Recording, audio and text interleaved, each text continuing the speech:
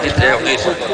Var går dag for sitt 14. merke. Det er bare å ta seg hatten for det. Eh, Tor Willy, når du snakker, så er det fint om du bare snur deg mot spikerbua, ikke har ryggen mot senderen, så kommer korte brudd.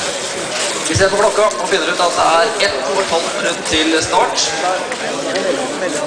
Det er eh, veldig viktig at man tar med seg søpla til nærmeste avfallsstasjon. Det er flere slike underveis. Eventuelt putter det i sekken eller på innsida av skidressen. Og iallfall ikke kaster søpla i naturen.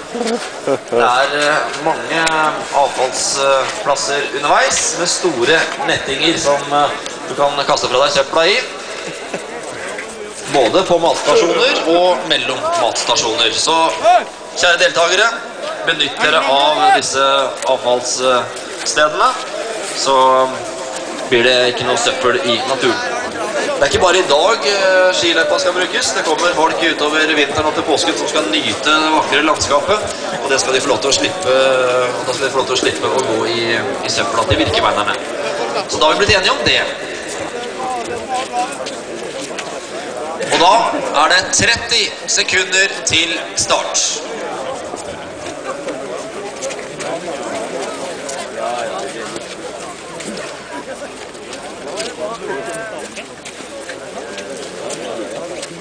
Da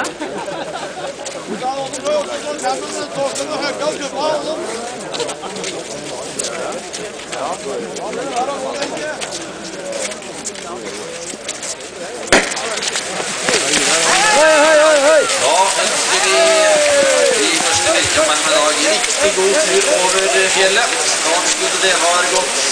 Og tida den begynner jo ikke å gå før man passerer startsmatta, Så det er ikke noe vits i å ha det travelt. Jeg må etter, jeg må! Hopp, hopp, hopp, hopp! Opp, opp, opp! Kommer inn i en god rytme. Finner i og hold til høyre. Also. Den der kommer på venstre side. Klokka den starter altså ikke før man passerer startmatta. So. Skal prøve igjen her å holde er Elita, jeg er står med Kai fra så må Frankrike her. jeg er. 81 år, som eh, Ja, jeg skal si, jeg ser nesten ikke hva slags ski du har, men du har eh, tydeligvis eh, Skal vi se, her har du. Og du har eh, Jerska. Jerska har du. Og hva heter du? Den är Elita, så det på Chaka, 30 minutter. Mer enn Hannes Hannes Larsson. Og du har gått mange av disse skiklassikerne og stiller i Birken i dag.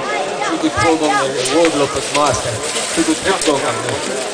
23 ganger, ja. ja. Og eh, hva syns du om eh, Birkebeinerrennet? Hva, hva tykker du om Birkebeinerrennet?